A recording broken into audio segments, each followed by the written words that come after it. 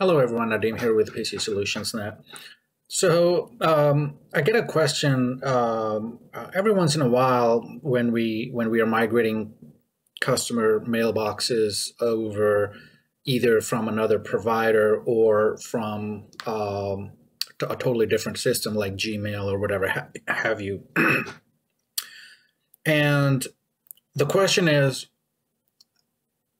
how do we do a bunch of mailboxes how do we migrate them? So there are there are two ways to do migrations.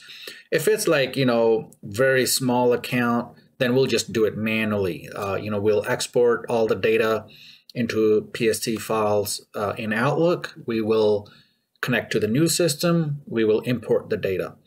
However if there are let's say you know 50 60 70 100 or whatever number of mailboxes that we need to migrate. And then on top of that, there are some public folders and things like that. Then we use some, some tools on the back end that allow us to replicate the data.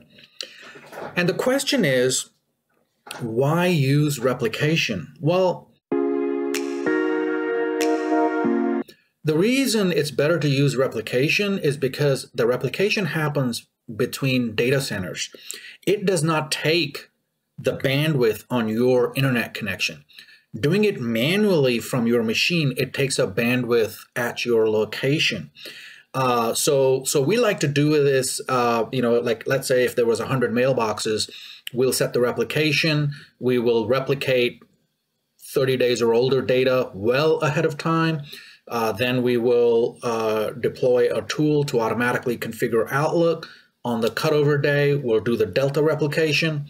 And we don't take all that bandwidth to first bring the data down and then send the data back up to the new data center. So that's why we like using these tools.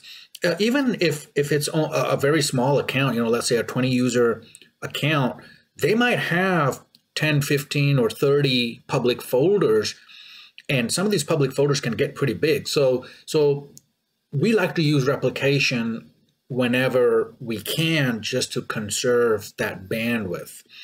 Um, and uh, uh, it, it, makes the whole process easier, much more controlled.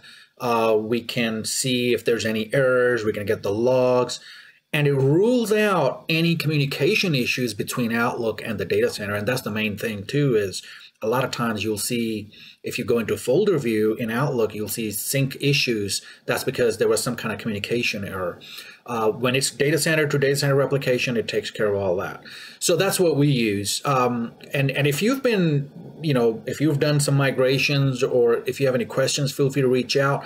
Uh, what kind of tools do you use if you've done any migrations? Um, you know, we use a variety of backend scripts and, and things like that to to replicate the data.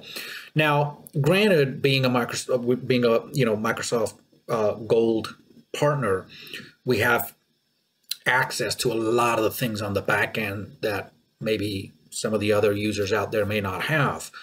Um, but the process is still similar, whether you're using your own tools, whether you're using tools from like BitTitan or Skykick or whatever the provider is, the, the, the, the, the logic is the same.